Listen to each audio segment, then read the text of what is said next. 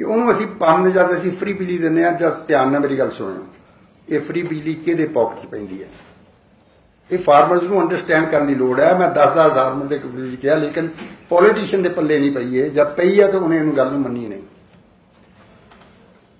ਪਾਣੀ ਦੀ ਜਦ ਤੁਸੀਂ ਪ੍ਰਾਈਸਿਸ ਕਮਿਸ਼ਨ ਜਿਹੜਾ ਹੈ, ਉਹ ਜਦ ਐਸਟੀਮੇਟ ਲਾਉਂਦਾ ਕਾਸਟ ਆਫ ਪ੍ਰੋਡਕਸ਼ਨ ਦੇ, ਉਹ ਸਿਰਫ ਉਹ ਕਾਸਟ ਗਿਣਦਾ ਜਿਹੜਾ ਫਾਰਮਰ ਜਿਹੜਾ ਇਨਵੈਸਟ ਕਰਦਾ।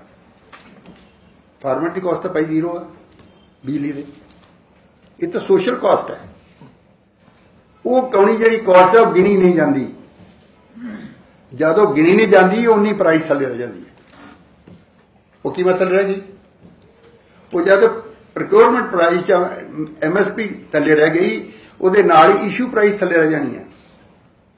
ਇਸ਼ੂ ਪ੍ਰਾਈਸ ਦਾ ਫਾਇਦਾ ਕਿਹਨੂੰ ਹੁੰਦਾ? ਕੰਜ਼ਿਊਮਰ ਨੂੰ। ਕੰਜ਼ਿਊਮਰ ਕੌਣ ਆ, ਤੁਹਾਡੇ 22 ਮਿਲੀਅਨ ਟਨ ਦਾ ਆਊਟ ਆਫ ਦੀ ਸਟੇਟ ਤੁਸੀਂ ਟੂ ਦੈਟ ਐਕਸਟੈਂਟ ਤੁਸੀਂ ਇਹ ਜਿਹੜਾ ਆ ਇਹ ਜਿਹੜੀ ਕਾਸਟ ਦੇ ਉੱਤੇ ਡਿਪੈਂਡ ਕਰਦੀ ਹੈ ਤੁਹਾਡੀ ਪ੍ਰਾਈਸ ਮੇਨਲੀ ਆਪਕੋ ਆਲੂ ਟੋਟਲ ਨਹੀਂ ਹੈ ਲੇਕਿਨ ਮੇਨਲੀ ਇਹ ਤੇ ਡਿਪੈਂਡ ਕਰਦੀ ਹੈ ਤੋ ਤੁਹਾਡੇ ਫਾਰਮਰ ਦੇ ਨਾਂ ਤੇ ਇਹ ਜਿਹੜੀ ਫ੍ਰੀ ਬਿਜਲੀ ਆ ਭਾਈ ਉਹ ਕੰਜ਼ਿਊਮਰ ਦੇ ਪੱਲੇ ਪੈ ਜਾਂਦੀ ਆ ਔਰ ਉਹ ਤੁਹਾਡਾ ਕੰਜ਼ਿਊਮਰ ਸਟੇਟ ਤੋਂ ਬਾਹਰ ਹੈ। ਇਹ ਆ ਤੁਹਾਨੂੰ ਫਾਇਦਾ ਹੈ ਔਰ ਤੁਸੀਂ ਆਪਣਾ ਪਾਣੀ ਪੰਪ ਕਰੀ ਜਾ ਰਹੇ ਹੋ। ਸੈਂਟਰੀਫਿਊਗਲ ਪੰਪ ਖਤਮ ਹੋ ਗਿਆ। ਸਮਰਸੀਬਲ ਪੰਪ ਲੱਗ ਗਿਆ। ਇੱਕ ਬੰਦਾ ਜਿਹੜਾ ਤਕੜਾ ਸਮਰਸੀਬਲ ਪੰਪ ਲਾਉਂਦਾ ਨਾ, ਗਰੀਬ ਆਦਮੀ ਦਾ ਜਿਹੜਾ ਪਾਣੀ ਨਾਲ ਦਾ ਉਹ ਵੀ ਸੁੱਕ ਜਾਂਦਾ। ਉਹ ਫੇਰ ਮਾਰਿਆ ਗਿਆ।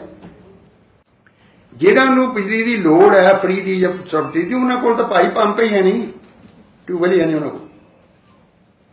ਸੋ ਇਹ ਥੋੜਾ ਜਿਹਾ ਜਿਹੜੀ ਸਬਸਿਡੀ ਹੁੰਦੀ ਹੈ ਜਾਂ ਕੁਝ ਖਰਚਾ ਹੁੰਦੀਆਂ, ਪਹਿਲੇ ਤੇ ਸ਼ੁੱਡ ਬੀ ਫੋਕਸਡ ਕੋਈ ਦੇਣੀ ਕਿਹਨੂੰ ਹੈ? ਦੂਜੀ ਹੈ ਇਟ ਇਜ਼ ਆਲਵੇਜ਼ ਟੈਂਪਰੇਰੀ ਇੱਕ ਗੱਲ ਮੰਨਣੀ ਪਊਗੀ ਕਿ ਐਗਰੀਕਲਚਰ ਸੈਕਟਰ ਕਿਸੇ ਵੀ ਕੰਟਰੀ ਦਾ ਸਬਸਿਡੀ ਤੋਂ ਬਗੈਰ ਨਹੀਂ ਚੱਲ ਸਕਦਾ।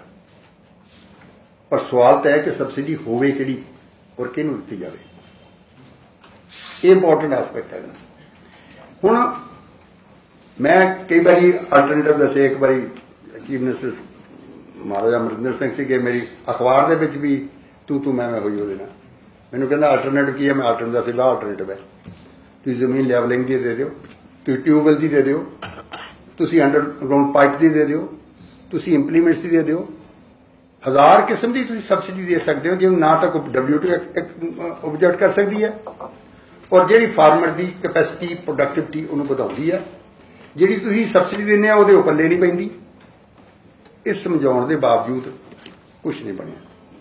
ਸੋ ਮੇਰਾ ਕਹਿਣ ਤੋਂ ਮਤਲਬ ਹੈ, ਜਿੱਥੋਂ ਤੱਕ ਇਹ ਸਵਾਲ ਹੈ ਪਾਣੀ ਦਾ, ਇਹ ਤੁਸੀਂ ਆਪਣੇ ਪਾਣੀ ਨੂੰ ਮਾਈਨ ਕਰਕੇ ਬਾਹਰ ਭੇਜ ਰਹੇ ਹੋ ਔਰ ਜਿਹੜੀ ਤੁਹਾਨੂੰ ਪ੍ਰਾਈਸ ਮਿਲ ਰਹੀ ਆ, ਉਹ ਤੁਹਾਨੂੰ ਪੂਰੀ ਨਹੀਂ ਮਿਲ ਰਹੀ ਔਰ ਉਹ ਜੋ ਪ੍ਰਾਈਸ ਜਿਹੜੀ ਆ, ਇਹਦਾ ਫਾਇਦਾ ਜਿਹੜਾ ਉਹ ਕੰਜ਼ਿਊਮਰ ਹੋ ਰਿਹਾ ਇਸ ਬਾਰੇ ਸੋਚੋ।